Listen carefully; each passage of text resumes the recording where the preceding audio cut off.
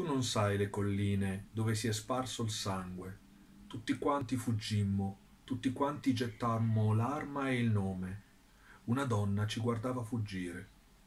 Uno solo di noi si fermò a pugno chiuso, vide il cielo vuoto, chinò il capo e morì sotto il muro, tacendo. Ora è un cerchio di sangue il suo nome. Una donna ci aspetta alle colline. Cesare Pavese.